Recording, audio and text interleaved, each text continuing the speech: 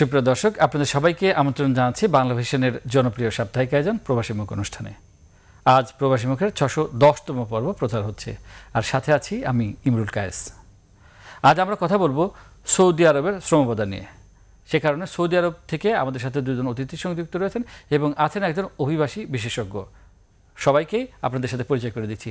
আমি প্রথমে পরিচয় করে দিচ্ছি অভিবাসন বিশ্লেষক শাকিরুল ইসলাম বাংলাদেশের স্টুডিও থেকে আপনাকে স্বাগত জানাচ্ছি। আমাদের সাথে সৌদি আরব থেকে সংযুক্ত রয়েছেন জহিরুল ইসলাম ভাই। আপনাকে বাংলাদেশের স্টুডিও থেকে স্বাগত জানাচ্ছি এবং আছেন এম ওয়াই আলাউদ্দিন বাংলাদেশের স্টুডিও থেকে আপনাকেও স্বাগত জানাচ্ছি। প্রিয় দর্শক, কথা না বাড়িয়ে আমরা সরাসরি আলোচনায় চলে যাচ্ছি। আমরা সৌদি আরবের শ্র- শ্রমবাজার সম্পর্কে জানব, বর্তমান পরিস্থিতি সম্পর্কে জানব। তবে প্রথম যে প্রশ্নটি করতে চাই শাকির ভাই, আপনার কাছে সেই প্রশ্নটি হচ্ছে যে সৌদি আরব থেকে এত লোক ফিরে আসছে কেন? এখন তো করোনা, আগে তো করোনার সময় আমরা দেখতে কিছু লোক ফিরে আসছে, এখন তো পরিস্থিতি ভালো থাকার কথা, কিন্তু এখন এত লোক ফিরে আসছে কেন? ধন্যবাদ।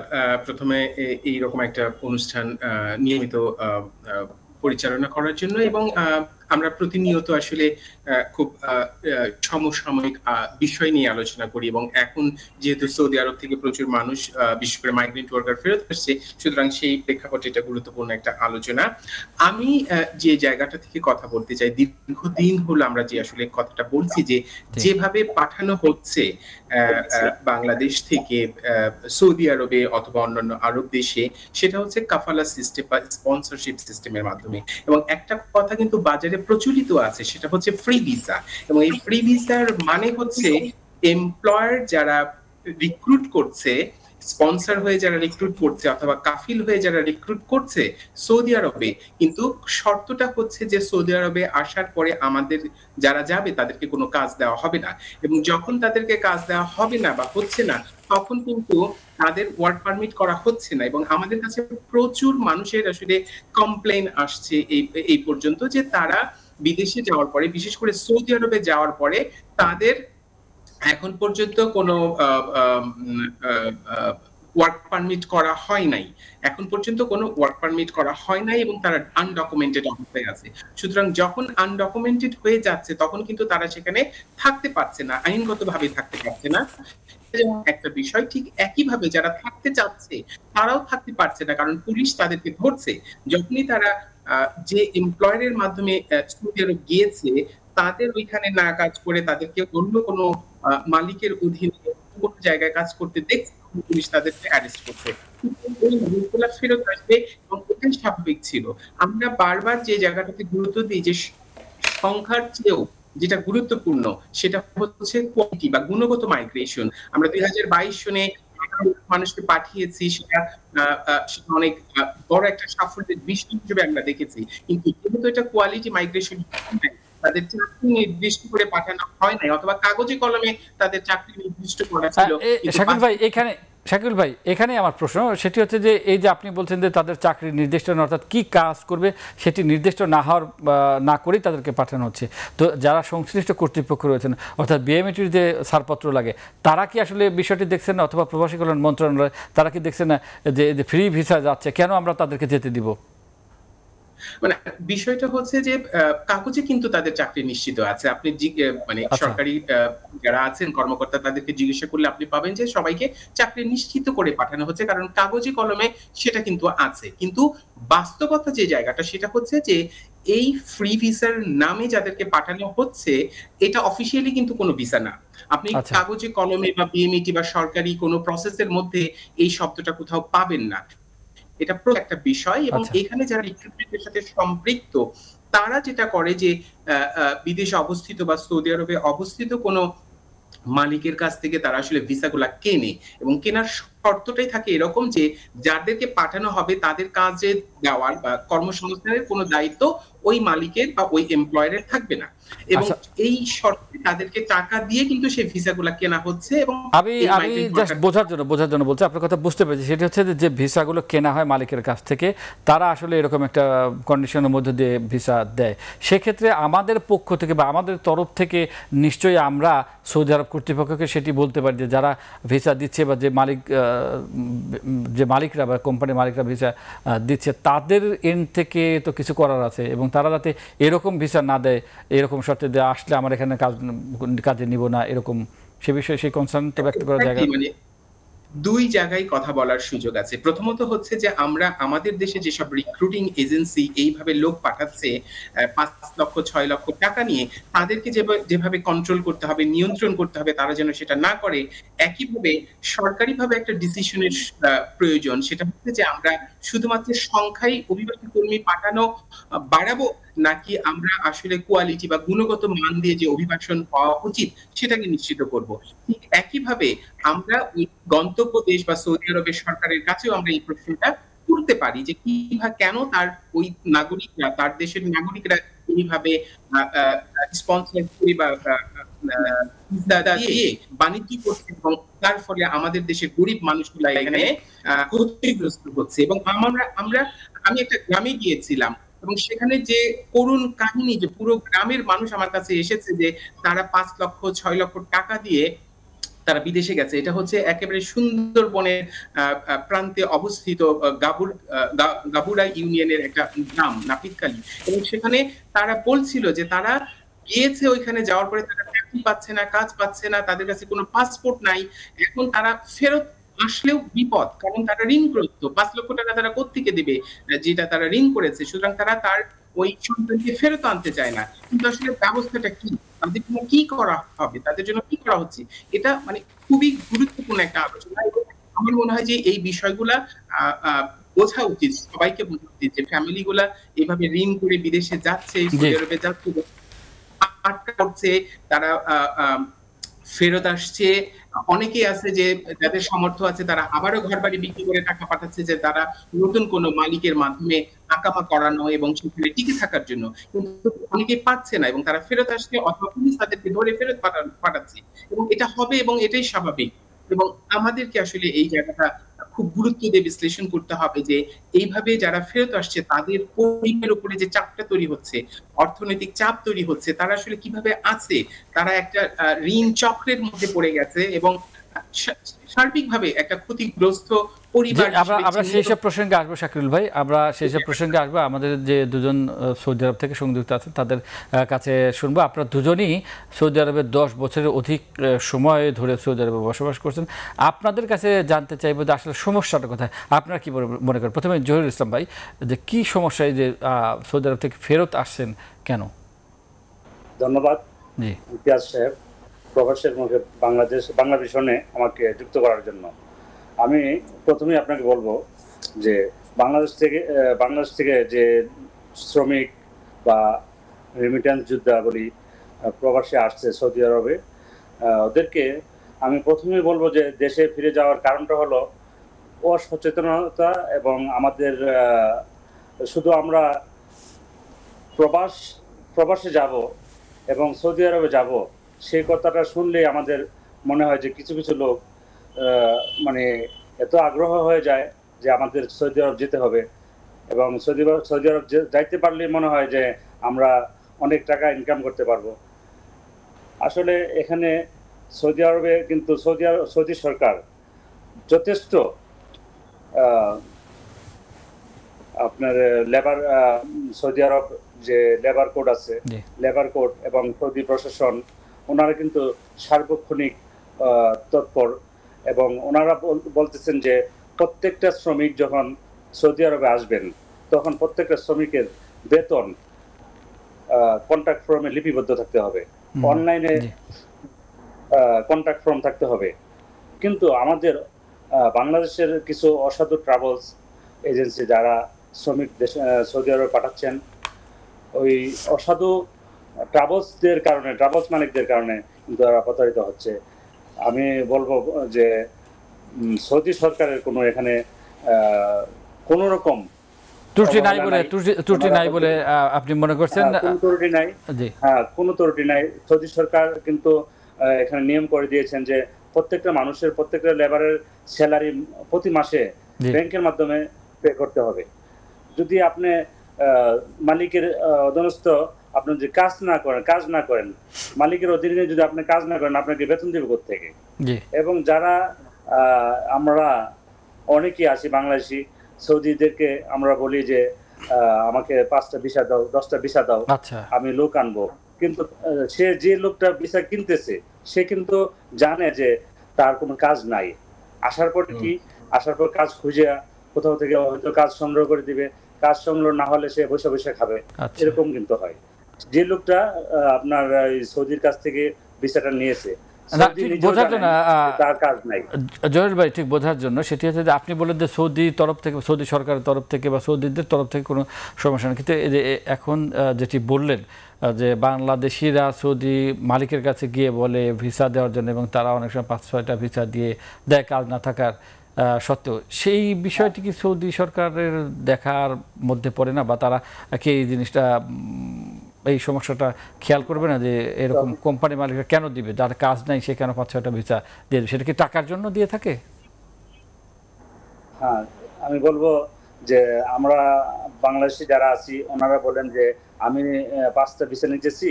সেই পাঁচটা লোক যখন আসবে সৌদি আরবে আসার পর আমি ওদেরকে কাজের ব্যবস্থা করব এবং আমি ওদেরকে কাজ দিয়ে দিব। আচ্ছা। তোমাকে কোনো কাজের জন্য টেনশন করতে হবে না। আমি লোকগুলোকে দেখা যাচ্ছে তিন মাসের মধ্যে রিলিজ করে নিয়ে যাব। ছয় মাসের মধ্যে রিলিজ করে নিয়ে যাব। তোমাদের তোমাদের কোম্পানি থেকে আমি ট্রান্সফার করে নিয়ে যাব। দেখা যাচ্ছে যে এখানে বর্তমান বর্তমান অবস্থায় কাজের খুব ক্রাইসিস সৌদি আরবে। বেতন অল্প। যে অল্প অল্প টাকা বেতনে দেখা যাচ্ছে যে একটা লোকের এখন দেখা যাচ্ছে বাৎসরিক এক বছরের আকামা ফি প্রায় বারো হাজার রিয়াল।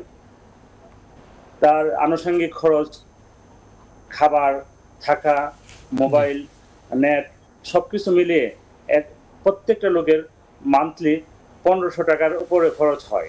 আর সৌদি সৌদি রিয়াল পনেরোশো? সৌদি রিয়াল পনেরোশো রিয়ালের উপরে তার মান্থলি খরচ আছে। একটা লোক যদি তিন হাজার রিয়াল বেতনে চাকরি করে সৌদি আরবে বর্তমানে যারা ফ্রি ভিসায় ফ্রি ভিসা নামক যে ভিসাগুলো দিয়ে আসে দেখা যাচ্ছে ওরা তিন হাজার রিয়াল বেতনে চাকরি করলে পনেরোশো রিয়াল ওরা সেভ করতে পারবে।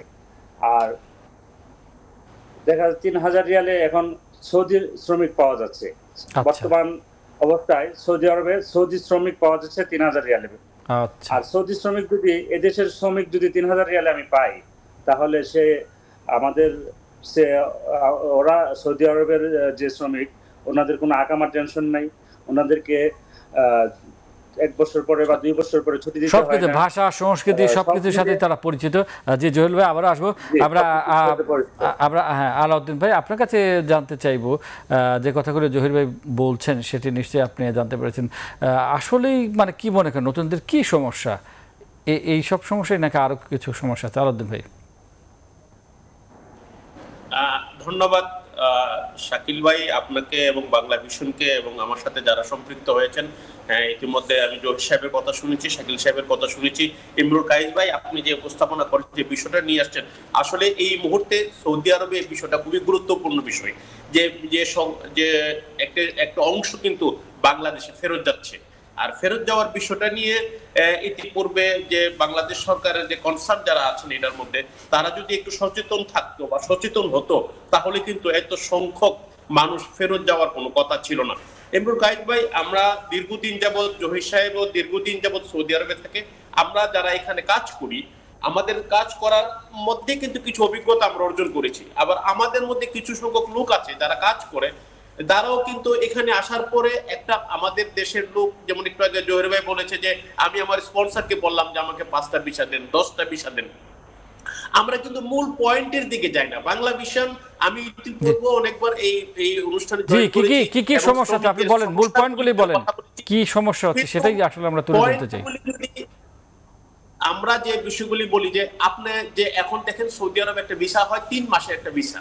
তিন আচ্ছা। মাসে তারা এই কামাটা নিয়ে আসে। এই তিন মাসের পরে দেখা গেছে ওই শ্রমিকটা সে কাজ পারে না কাজ করতে জানে না বা সে যে কাজের জন্য তাকে নিয়ে আসছে যে তাকে মিথ্যে তথ্য দিয়ে কিন্তু অনেক সময় নিয়ে আসে। সে না আসার পরে কি হয়? তাকে ওই লোক- লোকটাকে রাখতে চায় না।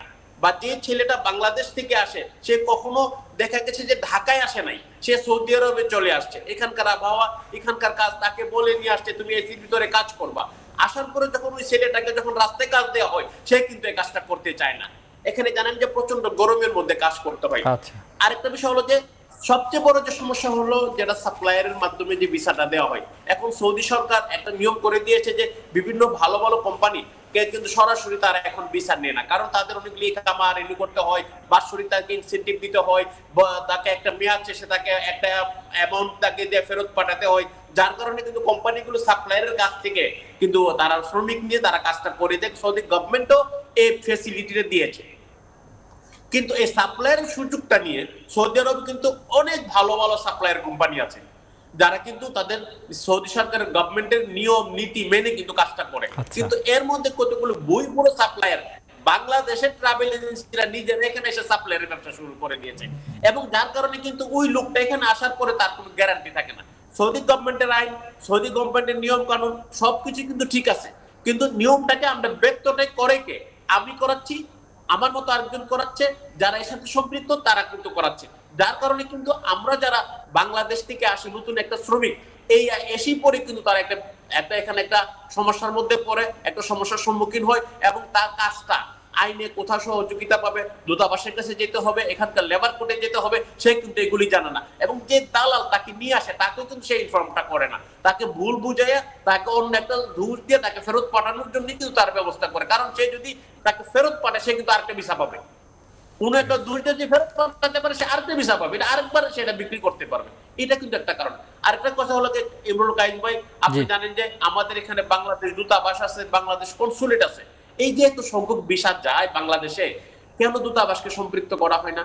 কেন কনসুলেটকে সম্পৃক্ত করা হয় না? কেন কোন ভিসাটা যখন একটা একটা একটা সংখ্যক পাঁচটা ভিসার উপরে হলে এটাকে দূতাবাসকে কোন এজেন্সি কোন কোম্পানি কোন এস্টাবলিশমেন্ট এই ভিসাটা পাঠাচ্ছে? কনসুলেট কেন তদারকি করে না। কেন তাদেরকে ইনফর্ম করা হয় না কনসুলেটকে? আমরা যখন কনসুলেটে কথা কিন্তু কিন্তু সেরকম। সেরকম সেরকম কি কোনো নিয়ম আছে বা সেরকম কি কোনো নিয়ম করা যায় কিনা যে দূতাবাসকে ইনভলভ করে তারপরে ভিসা দেবে? এরকম অন্য দেশে উদাহরণ নিয়ম আছে। এর আগে আমরা জানি যে এর আগে রাষ্ট্রদূত মহোদয় ছিলেন গোলাম মুসি সাহেব এমন একটা নিয়ম করে দিয়েছিলেন এত সংখ্যক ভিসার উপরে যখন বাংলাদেশ যাবে অবশ্যই বাংলাদেশ বা কনসুলেট বা দূতাবাসের প্রতিনিধি ওই কোম্পানিকে তারা নিজেরা যাচাই করবে ওই কোম্পানির বেতন স্যালারি ঠিক মতো দিচ্ছে কিনা তার কোম্পানির অবস্থা কি তার বিগত দিনে কত বছর যাবত কোম্পানিটা কাজ করতেছে কিন্তু সেটা কি এখন বন্ধ আছে? আছে এবং আইনেও আছে। এই যে নিয়মটা দেখা যাচ্ছে যে জি। জি বলেন। জি। মানে সেটা কি এখন বন্ধ আছে? এই যে নিয়মটা করলেন। এটা বন্ধ আছে না। এটার সাথে কি হয় জানেন? আমাদের দেশে যে আমি বলি যে আমার প্রবাসী কল্যাণ মন্ত্রণালয়ের কিছু বিএমিডির কিছু লোকজন সম্পৃক্ত থাকে। বিভিন্ন ভাবে এটার কারণে কিন্তু এই দূতাবাসকে তারা পাশ কাটিয়ে নেয়। তারা মনে করে যে আচ্ছা। দূতাবাসে আসলে তাদেরকে হ্যাসেল করা হয় ওই ওই একটা একটা দোষ দেওয়া হয় দূতাবাসের কারণে ভিসাটা বাংলাদেশে যাচ্ছে না শ্রমিকদেরকে আনা যাচ্ছে না আমাদের লেবার পাঠানো কমে যাবে। এটাও কিন্তু একটা মেইন কারণ। এই যে একটা সমন্বয়হীনতাই কিন্তু মেইন কারণটা। এই জায়গাগুলিকে যদি ঠিক করা হয় দূত আমি মনে করি দূতাবাস কনসুলেটকে যদি এটাতে সম্পৃক্ত করা হয় তারাও কিন্তু একটা জবাব দিয়ে তারা আওতায় আসবে। তারা কিন্তু জবাব দিয়ে দিতে বাধ্য হবে যে এই স্টাবলিশমেন্টে যে ভিসাটা দেওয়া হয়েছে তোমরাই তো রিকমেন্ড করেছ যে তোমরা এই ভিসাটা দেওয়ার জন্য তোমাদেরকে দায়িত্ব নিতে হবে। এই এটা কিন্তু একটা কারণ হয়। আর এবং যদি ট্রাভেল এজেন্সিগুলিকে যদি জবাবদিহিতার তাই না আনা যায় এটা কিন্তু তাহলে কিন্তু কোনো লাভ হবে না। আরেকটা কথা হলো কি জানেন? আপনি বিশ্ব সৌদি আরবে এখন লেবারের তেমন চাহিদা নাই। আপাতত। সামনে আজকের থেকে পাঁচ বছর চার বছর পাঁচ বছর পরে কিন্তু ব্যাপক চাহিদা হবে। কারণ আপনি জানেন Saudi Arab vision twenty thirty এবং ভিশন আচ্ছা আমরা আমরা সেই প্রসঙ্গে আসব। আমরা আলাদা আমরা সেই প্রসঙ্গে আসব। পাঁচ বছর পরে যে চাহিদা হবে আহ, সেই প্রসঙ্গে আসব। দুবাই কনসুলেট জেনারেল যেখানে জাতীয় পরিচয়পত্র দেওয়ার কার্যক্রম শুরু করেছে সেই বিষয়ে একটি প্রতিবেদন দেখব। দীর্ঘ অপেক্ষার অবসান ঘটিয়ে শেষ পর্যন্ত উদ্বোধন করা হয়েছে প্রবাসীদের জাতীয় পরিচয়পত্র প্রদান কার্যক্রম। নানা পরীক্ষা নিরীক্ষা শেষে বাংলাদেশ দূতাবাস আবুধাবিতে গেল সোমবার ও বৃহস্পতিবার বাংলাদেশ কনসুলেট জেনারেল দুবাইতে এই কার্যক্রমের উদ্বোধন করা হয়েছে। এর মধ্য দিয়ে প্রবাসীদের দীর্ঘদিনের প্রাণের দাবি পূরণ করল সরকার। গেল সোমবার আবুধাবিস্থ বাংলাদেশ দূতাবাস কার্যালয়ে আটজন প্রবাসীর হাতে নতুন স্মার্ট কার্ড তুলে দেন অনুষ্ঠানের প্রধান অতিথি নির্বাচন commissioner brigadier general Ahsan Habib Khan ও বিশেষ অতিথি নির্বাচন কমিশন সচিবালয়ের সচিব মোহাম্মদ জাহাঙ্গীর আলম। গত পরশু দিন আমার মোবাইলে মেসেজ আসছে এখন আজকে রিসিভ করলাম। তো এনআইডি কার্ড। খুব ভালো লাগতেছে অল্প সময়ের ভিতর আমরা কাজটা করতে পারতেছি সেটা আমাদের জন্য সু একটা সুসংবাদ। পরে এক মতবিনিময় সভায় নির্বাচন কমিশনার জানান ধীরে ধীরে এই কার্যক্রম বিশ্বের আরও চল্লিশটি দেশে চালু করা হবে। দূতাবাস মিলনায়তনে রাষ্ট্রদূত মোহাম্মদ আবু জাফরের সভাপতিত্বে ও প্রথম সচিব সাইফুল ইসলামের পরিচালনায় সভায় শুভেচ্ছা বক্তব্য রাখেন দূতাবাসের মিনিস্টার আব্দুল আওয়াল। এখন এখান থেকে আপনি পারছেন সুতরাং একটু ধৈর্য ধরেন আমাদের কাছে একটি নতুন বিষয়। চল্লিশটা দেশে আমরা এই এনআইডি কার্যক্রম করব। তবে আগামী বছরের মধ্যে অ্যাটলিস্ট পনেরোটা দেশে সম্পন্ন করার পরিকল্পনা আমরা নিয়েছি। এবং এই পরিকল্পনা নেওয়ার পিছনে যেখানে আমাদের প্রবাসী বেশি আছে, যেখান থেকে রেমিটেন্স দেশে বেশি যায়, যেমন এরপরে সৌদি আরব থাকবে, এরপরে কুয়েত থাকবে, এরপরে মালয়েশিয়া থাকবে, এইভাবে আমরা প্রায়োরিটাইজ করেছি। নিঃসন্দেহে একটি অত্যন্ত যুগান্তকারী পদক্ষেপ বাংলাদেশ সরকারের মাননীয় প্রধানমন্ত্রীর নেতৃত্বে যে নেতৃত্বাধীন সরকারের যে প্রবাস থেকেও যে এনআইডি কার্যক্রমটি চালু করেছেন তার ফলে আমাদের যে জাতীয় নিরাপত্তাও অনেক অনেকটি সুরক্ষিত হবে এবং আগামী দিনগুলোতে এই কার্যক্রম আরও আমরা বেগবান করব। প্রবাসীদের সবচেয়ে গুরুত্বপূর্ণ জাতীয় পরিচয়পত্র প্রবাস থেকে বানানোর সুযোগ করে দেয়ায় সভায় রাষ্ট্রদূত সহ সরকারের প্রতি কৃতজ্ঞতা জানিয়ে এ পদক্ষেপের প্রশংসা করেন প্রবাসী বাংলাদেশিরা। আমরা অনেক আনন্দিত অনেক উৎফুল্লিত। দীর্ঘদিন ধরে আমাদের একটা আশা ছিল আজকে আশাটা পূরণ হয়েছে। সরকারকে এবং সংশ্লিষ্ট টিম যারা কাজ করতে তাদেরকে আমরা ধন্যবাদ জানাই। তারা খুব ধৈর্য সহকারে এই কাজগুলা করতেছে। আবুধাবি প্রবাসীরা মনে করছেন গেল এক বছর ধরে রাষ্ট্রদূত মোহাম্মদ আবু জাফরের আন্তরিক শ্রম ও প্রচেষ্টার ফলেই এই উদ্যোগ বাস্তবায়ন করা সম্ভব হয়েছে। এর আগে গত আটাশ মে দূতাবাস ও কনসুলেটে পরীক্ষামূলকভাবে কিছু স্মার্ট এনআইডি প্রবাসীদের হাতে তুলে দেওয়া হয়। এছাড়া গত ১৩ জুন থেকে আমিরাতের আবুধাবি ও দুবাই এ দুটি মিশনে পরীক্ষামূলকভাবে প্রবাসীদের জাতীয় পরিচয়পত্রের আবেদন গ্রহণ শুরু হয়। এরপর এক মাসের ব্যবধানে দুইটি মিশন থেকে প্রায় দেড়শো প্রবাসীকে স্মার্ট এনআইডি কার্ড দেয়া হয়েছে। প্রিয় দর্শক, প্রতিবেদনটি দেখলাম, আমরা আবারও আলোচনায় ফিরে যাচ্ছি, আমরা আলোচনা শুনছিলাম শাকিল ভাইয়ের কাছে। আমরা এখন জানতে চাইব যে শাকিল ভাই, আপনারা আমাদের দুজন সৌদি প্রবাসীর কথা শুনেছেন এবং তারা কিছু সমস্যার কথা তুলে ধরলেন কিছু বিষয় তুলে ধরলেন। তো যেমন এর মধ্যে একটি হচ্ছে দূতাবাস এবং বিএমইটির মধ্যে যে একটা সমন্বয়হীনতা রয়েছে, অর্থাৎ আগের রাষ্ট্রদূত যে একটি নিয়ম করেছিলেন, পাঁচটার উপরে কোনো কোম্পানি যদি ভিসা ইস্যু করে, সেটি দূতাবাস প্রতিনিধিকে দেখাতে হবে এবং দূতাবাসকে অবহিত করতে হবে। কিন্তু সেক্ষেত্রে বিএমইটি অনেক সময় পাশ কাটানোর চেষ্টা করে। এই যে সমস্যাগুলোর কথা শুনলেন এই বিষয়টি থেকে আসলে ওভারকাম করা বা এই সমস্যা থেকে ওভারকাম করার ক্ষেত্রে বা করতে হলে কি করতে হবে আমাদের? ধন্যবাদ।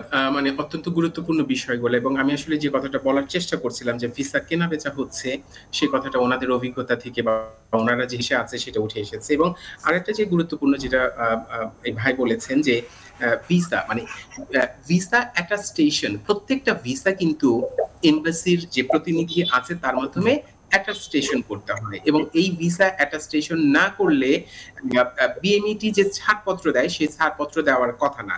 এবং এটাই হচ্ছে রুলস এবং ওই অ্যাটাস্টেশনের মাধ্যমে অ্যাটেস্টেশনটা কে করে? এটা কি দূতাবাসের কাজ? দূতাবাস করে দূতাবাসে মাধ্যমে করা হয়। এবং আচ্ছা। সেই ক্ষেত্রে যে জায়গাটা যে দূতাবাসের যারা অ্যাটাস্টেশন করে নিয়ম হচ্ছে যে এটাকে ফিজিক্যালি ভেরিফিকেশন করা যে কোম্পানি থেকে নেওয়ার জন্য যে ইয়েটা আসলো সেই কারখানা আসলে ডিমান্ডটা আসলো সেই কারখানাটা আসলে আদৌ আছে কিনা সেখানে যে শ্রমিকের ডিমান্ডটা আসছে সেই শ্রমিকের চাহিদা আছে কিনা সেই পজিশন খালি আছে কিনা এবং তার বেতন বা ইত্যাদি সরজমিনে দেখেই অ্যাটাস্টেশনটা করতে হয়। কিন্তু আমাদের জায়গায় যে চ্যালেঞ্জ সেখানেই এই সৌদি আরবের মতো এত বড় দেশে আমাদের মাত্র দুইটো কনসুলেট অফিস আছে। একটা হচ্ছে রিয়াদে এবং একটা জেদ্দা এবং সেখানে যে হিউম্যান রিসোর্স তার সংখ্যা কিন্তু খুবই কম। হাতে গোনা কয়েকজন। সুতরাং গত বছর সাত লক্ষ মানুষ গেছে। সেই সাত লক্ষ মানুষের ভিসা যদি ভেরিফাই করতে হয় স্টেশন করার আগে তাহলে দশ জন বা বিশ জন মানুষকে দিয়ে কিন্তু এটা এটা সম্ভব হয় না। তো এই কারণে যেটা হচ্ছে যে এই ভিসা গুলাকে ভেরিফাই না করে একটা স্টেশন করে দেওয়া হচ্ছে। এবং সেই সেই একটা স্টেশনের উপরে ভিত্তি করে বিএমএটি তাদেরকে পাঠাচ্ছে। তো এটা হচ্ছে অফিসিয়ালি হচ্ছে বাট এখানে যে গুরুত্বপূর্ণ যে আমার কনসুলেট অফিসে ভিসা ভেরিফিকেশনের জন্য যথেষ্ট জনবল থাকা বা যে ফ্যাসিলিটি গুলো থাকা দরকার, সেটা নিশ্চিত করতে হবে। আর আরেকটা যে জায়গাটা, সেটা হচ্ছে যে এই পুরো প্রক্রিয়াটাকে স্বচ্ছ করা, এই প্রক্রিয়াটাকে কীভাবে জবাবদিহিতার মধ্যে আনা যায় যে ভাই সৌদি আরবে আছেন উনি কিন্তু বলেছেন যে রিক্রুটমেন্ট এজেন্সিগুলোকে জবাবদিহিতার মধ্যে জি এই জায়গায় এই জায়গায় এই যে রিক্রুটিং এজেন্সিগুলো কিছু অসাধু এজেন্সি আছে আমরা অনেক আগে থেকেই শুনে আসছি। সৌদি আরবের মতো একটা বাজার যে বাজারটি আমাদের শ্রম বাজারের জন্য সবচেয়ে বড় একটি বাজার এবং সবচেয়ে সম্ভাবনায় সম্ভাবনাময় একটি দেশ সেখানকার বাজার নিয়ে এই রকম মানে নানা ধরনের প্রতারণা করা হয় নানা ধরনের ব্যবসা কেন্দ্রিক চিন্তা চেতনার কারণে এই যে সমস্যাগুলোর সৃষ্টি হচ্ছে কেন হচ্ছে না? কেন এই অসাধু এজেন্সিগুলোকে ট্যাকেল করা যাচ্ছে না বা তাদেরকে নিয়ন্ত্রণ করা যাচ্ছে না? বাধাটা কোথায়? সমস্যাটা কোথায়? আপনি কি মনে করেন শাকিল ভাই? সমস্যাটা আসলে কোথায় এটা খুবই কঠিন আমার পক্ষে বলা। কিন্তু সাধারণ মানুষ হিসেবে যদি আমি মনে করি যে যারা আসলে এই ব্যবসাটা করছে তারা কারা? তাদের টাকা আছে, তাদের মাসেল আছে, তাদের মানি আছে, তাদের লিঙ্ক আছে, তাদের অনেক কিছু আছে। সুতরাং সেটা একটা বড় বিষয়। কিন্তু রাষ্ট্র হিসেবে নিশ্চয়ই তারা রাষ্ট্রের চেয়ে বড় কিছু না। আমাদেরকে যে জায়গাটা করতে হবে সেটা হচ্ছে আসলে দেশের উন্নয়নের জন্য, দেশের অর্থনৈতিক অগ্রগতির জন্য যে মানুষগুলো যাচ্ছে বা আমাদেরও একটা কিন্তু চাহিদা মানে চাপ আছে যে আমাদের অতিরিক্ত জনসংখ্যা তাহলে তাদেরকে যদি আমি কর্মসংস্থানের ব্যবস্থা করতে চাই তাহলে আমাদেরকে অবশ্যই বিদেশে পাঠাতে হবে। কিন্তু তার মানে এই না যে আমরা শুধুমাত্র সংখ্যা বাড়ানোর জন্য তাদেরকে পাঠাবো এবং তারা বিপদগ্রস্ত হয়ে ফেরত আসবে। সুতরাং এই জায়গাটাতে যেটা দরকার সেটাকে খুব শক্ত হাতে একটা সিস্টেম দাঁড় করাতে হবে এবং এই সিস্টেমটাকে স্বচ্ছ করা বা এই প্রক্রিয়ার সাথে যারা সম্পৃক্ত সকল পক্ষকে আসলে জবাবদিহিতার মধ্যে আনতে হবে। শাকিরুল ভাই জহির ভাইয়ের কাছে জানতে চাইব যে শাকিরুল ভাই যেটি বলছিলেন যে বাসল ম্যানরা জড়িত আছে এবং তাদের আসলে অনিয়মের কারণেই আমাদের এত বড় একটি বাজার একটি সম্ভাবনাময় বাজার সেখান থেকে আমরা আশানুরূপ ফলাফল পাচ্ছেন এবং অনেক মানুষ ফিরে আসছে। এই মাসুল ম্যান কারা? কারা এই ভিসা কেনা বেচা করছেন এরকম কি কোনো চক্র আছে সৌদি আরবে? আসলে চক্র তো সব জায়গায় সাধু অসাধু মিলিয়ে সব জায়গায়। ভালো মানুষ খারাপ মানুষ সব জায়গায় আছেন। দেখা যাচ্ছে টাকার লোভে পড়ে সবাই কিন্তু সব কাজ করে। আমাদের বাংলাদেশি যারা আছেন অনেকেই দেখা যাচ্ছে যে একটা সাপ্লাই কোম্পানিতে চাকরি করতেছে। চাকরি করা অবস্থায় আবার কিছুদিন পর দেখা যাচ্ছে এ দেশে আসার পরে চার পাঁচ বছর হয়ে গেল সে ভাষা শিখছে ভাষা জানেন এবং সৌদি আরবের আইন কারণ মোটামুটি ভালো অবগত। তখন কিন্তু সে নিজে একজন সাপ্লায়ার হয়ে যান। সাপ্লায়ার হয়ে যাওয়ার আচ্ছা। পরে দেখা যাচ্ছে এক- একশো ভিসা উনি প্রসেসিং করলেন বাংলাদেশে পাঠাইলেন। প্রতি ভিসা তার প্রায় এক লক্ষ টাকা করে বাংলাদেশি টাকা লা- লাভ করেন। তার মুনাফা হলো দেখা যাচ্ছে এক- একশো ভিসা তার এক কোটি টাকা সে ইনকাম করল। সময় কিন্তু অল্প। কিন্তু মাস দুই মাস লাগে দেখা যাচ্ছে প্রসেসিং করতে আচ্ছা। একশো ভিসা। একশো ভিসা দেখা যাচ্ছে প্রসেসিং করার পরে তার এক কোটি টাকা লাভ হয়ে গেল এখানে। তারপরে এই যে একশো লোক একশো লোক নিয়ে আসলো। একশো লোক নিয়ে আসার পরে এই একশো লোকে দেখা যাচ্ছে থাকার জায়গা নাই খাবার নাই, চাকরি নাই। কি যে এক অবস্থা, আপনারা যদি নিজের নিজের চোখে না দেখেন বুঝতে পারবেন না। কারণ আমরা এখানে প্রবাসে যারা আছি, সৌদি আরবে, অনেকেই অনেক জায়গাতে আমরা দেখি যে নতুন দেশ থেকে আসছেন লোকজন আসার পরে খাবারের সমস্যা থাকার সমস্যা বেতন নাই কাজ নাই। আমরা যদি কনসুল জেনারেল এবং বাংলাদেশ সরকার ওদের প্রতি আমরা অ্যাকশনে যাই যে তোমরা কাজ কাজ ছাড়া লোকজন আনবা না এবং আমার ভাই আলাউদ্দিন সাহেব যিনি যে কথাটা বলে গেছেন যে আমাদের সাবেক রাষ্ট্রদূত গোলাম বসির সাহেব কিন্তু এগুলা দেখতেন। যে আমি একশো লোক আনতেছি আমার দেশ থেকে একশো লোক আসতেছে একশো লোকের কর্মস্থল আছে কিনা তার বাসস্থান আছে কিনা তাকে মাস শেষে ওই কোম্পানিটা বেতন পে করতে পারবে কিনা আহ, তার অবস্থান বুঝে কিন্তু ভিসাগুলা স্টাম্পিং করতেন।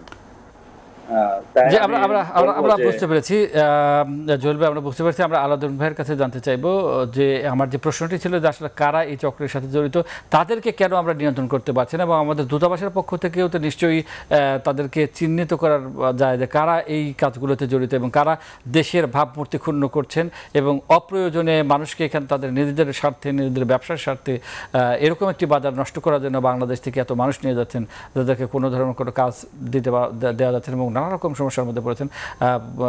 কেন আমাদের দূতাবাস সে বিষয়ে বা তাদেরকে চিহ্নিত করতে পারছেন বা তাদের বিরুদ্ধে সৌদি সরকারের দিয়ে কোনো অ্যাকশন নিতে পারছেন না? ধন্যবাদ আমাকে আবার সুযোগ দেওয়ার জন্য। আমি শাকিল সাহেব বলেছেন যে দূতাবাসের অ্যাটেস্টেশন ছাড়া কোনো ভিসা মানে শ্রমিক বাংলাদেশে থেকে সৌদি আরবে পাঠানো হয় না। যদি এমনটা হয়ে থাকে তাহলে অবশ্যই দূতাবাসকেও এ ব্যাপারে তার জবাবদিহিতার আওতায় আনতে হবে। আর যদি আপনি একটা কথা বলেছেন যে, কারা এই সিন্ডিকেট কারা এই কাজগুলি করছে, কাদের কারণে এই শ্রমবাজার দুর্নাম হচ্ছে বা বদনাম হচ্ছে, বাংলাদেশের মানক্ষুণ্ণ হচ্ছে? এই বিষয়গুলিতে নিয়ে এখনই সময় এগুলি নিয়ে কাজ করা শাকিল ভাইয়ের মতো যারা আছেন, যারা এই লাইনে বিশেষজ্ঞ আছেন, যারা যারা এই লাইনে কাজ করেন, আমার মনে হয় তাদের সময় আসছে এই বিষয়গুলি নিয়ে খুঁজে বের করা কারা এর সাথে সম্পৃক্ত। একটু আগে জহির সাহেব বলেছেন যে আমি একজন বাংলাদেশে আসলো বা সে একশো ভিসা নিল ভিসা নিয়ে দেশে পাঠিয়ে দিল এক কোটি টাকা কামিয়ে করে ফেলল চলে গেল। না এমনটা কিন্তু যদি একশো ভিসা যদি পাঠাতে অবশ্যই দূতাবাসের অ্যাটেস্টেশন করতে হয়েছে। তাহলে দূতাবাস কেন অ্যাটেস্টেশন করল? কেন তাকে পরবর্তী তার বিরুদ্ধে অ্যাকশনে গেল না? আমার জানা মতে এটার মধ্যে এটার মধ্যে কিছুটা ফাঁক আছে। আমার মনে হয় না. যে সবকিছু দূতাবাসকে জানানো হয়। সব বিষয়ে দূতাবাসের অ্যাটেস্টেশন করা হয়। এটা নিয়ে আমার আমার সাথে আমরা যখন গণমাধ্যম কর্মীরা যখন দূতাবাসের সাথে এইসব বিষয়ে কথা বলি আমার সাথে আপনার রাষ্ট্রদূত মহোদয়রা বাইকানকার উদ্বোধন কর্তৃপক্ষরা কিন্তু খুব প্রকাশ করেছেন যে আমি জানি না ভিসা চলে গেছে বাংলাদেশে তার মানে আমরা আমরা আমরা বুঝতে পেরেছি আমরা বুঝতে পেরেছি যে এত বড় একটা বাজার আসলে জি আলাউদ্দিন ভাই নিশ্চয়ই কোথাও না কোথাও ঘাপলা আছে এবং সেই ঘাপলা বা সমস্যাগুলো দূর করতে হবে। আহ, আপনার কাছে জানতে চাইছি যে কোন সৌদি আরবে কোন কোন শহরগুলোতে লোক বেশি যাচ্ছে? এই মুহূর্তে তো আপনি জানেন যে শ্রম বাজার হিসাবে কিন্তু জেদ্দা আছে, জেদ্দা এরিয়া পুরো সৌদি আরবের মধ্যে কিন্তু লোক বেশি যাচ্ছে। এর মধ্যে সবচেয়ে বেশি আসে কিন্তু জেদ্দা, রিয়াদ এবং দাম্মাম বা আল জুবাইল যে অঞ্চলটা আছে, ওখানে কিন্তু শ্রমিক আসে বেশি। কারণ ওখানে বেশিরভাগ মিল ফ্যাক্টরি সৌদি আরবের যে আপনার যে তেলের যে খনিগুলি কিন্তু সবচেয়ে বেশি কিন্তু ওই অঞ্চলে বুঝতে পারছি বুঝতে পারছি। জহির ভাই এই এই যে এই যে মানে যে শহরগুলোর কথা আলাউদ্দিন ভাই বললেন যে লোকজন বেশি আছে প্রতারণা বা ওই ধরনের যে সমস্যাগুলো হচ্ছে সেখানে এই শহরগুলোর নামে কি আগে আসছে যে ওই সব জায়গাতেই এই সমস্যা তৈরি হচ্ছে যে কাজ পাওয়া যাচ্ছে না বা অন্যান্য সমস্যা? এটা কারণ হচ্ছে সারা সৌদি আরব যখন তারা এক জায়গায় কাজ না পায় তারা কিন্তু ছড়ায় যায়।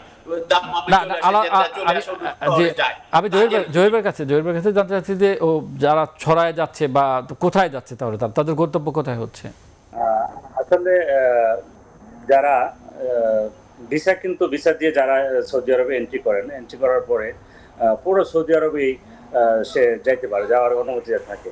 আগে একটা সময় ছিল যে এখানে যে তার আহ, রিয়াদের ভিসা শুধু রিয়াদই থাকবে জি। দাম্মামের ভিসা দাম্মামে থাকবে মদিনার ভিসা শুধু মদিনায় থাকবে। এখন কিন্তু যারা আসেন রিয়াদে আসছেন রিয়াদে আসার পরে দেখা যাচ্ছে রিয়াদে কাজ নাই। হ্যাঁ বুঝতে পারছি বুঝতে পারছি বুঝতে পারছি আলাদা ভাই শাকিল ভাই আপনার কাছে জানতে চাচ্ছি যে আমাদের যে আলোচনা হলো আমরা আসলে শেষ মুহূর্তে চলে আসছি। যে সমস্যাগুলো বলা হলো কি করব? আমরা এখন আসলে এই বাজারটি বাঁচিয়ে রাখার জন্য কি করব? একদম পয়েন্টে বিশ সেকেন্ডের মধ্যে যদি বা বিশ থেকে ত্রিশ সেকেন্ডের মধ্যে। আমি যেটা বলব সেটা হচ্ছে খুবই আন্তরিকতা নিয়ে যে এই বাজারটা আমরা নষ্ট করতে চাই না সুতরাং এই বাজারটাকে বাঁচানোর জন্য আমাদেরকে যা যা করা দরকার সবকিছুই করতে হবে। প্রথমত হচ্ছে যে এই পুরা রিক্রুটমেন্টের যে কথাগুলো আমরা শুনলাম যে এখানে অনেক অস্বচ্ছতা আছে সেই অস্বচ্ছতাগুলোকে কীভাবে দূর করা যায় এবং একটা স্বচ্ছ সিস্টেম তৈরি করতে হবে। আমরা অনেক ক্ষেত্রেই অভিবাসীদেরকে দায়ী করি যে তারা অসচেতন তারা মনে করে যে বিদেশ গেলে টাকা কামানো যায় এটা সবাই করবে যদি এখানে তার কোনো এমপ্লয়মেন্ট না থাকে। সুতরাং সেই ক্ষেত্রে আমি যত প্রশিক্ষণ দেই যত জি সচেতনতা তৈরি করি না আচ্ছা, আমরা একদম শেষ চলে আসছি শাকিল ভাই আমরা বুঝতে পেরেছি যে আসলে আমি আমরা বুঝতে পারছি আমরা একদম প্রোগ্রামের শেষ মুহূর্তে চলে আসছি আমরা বুঝতে পেরেছি আপনাদের তিনজনের সাথে আলোচনা যে বিষয়টি উঠে এসেছে সেটি হচ্ছে আসলে স্বচ্ছতার কোনো বিকল্প নেই। সৌদি আরবের মতো আমাদের এত বড় একটি বাজার ধরে রাখতে হলে এবং সেখানে আমাদের শ্রমবাজার দিন দিন বিস্তৃত করতে হলে স্বচ্ছতার কোনো বিকল্প নেই। সেই সাথে অন্যান্য জায়গায়ও একই ভূমিকা পালন করতে হবে। সেক্ষেত্রে সংশ্লিষ্ট যারা রয়েছেন, তারা সঠিক দায়িত্ব পালন করবেন। সেই প্রত্যাশা রেখে আজ এখানে শেষ করছি। সবাই ভালো থাকুন, সুস্থ থাকুন। আল্লাহ হাফেজ।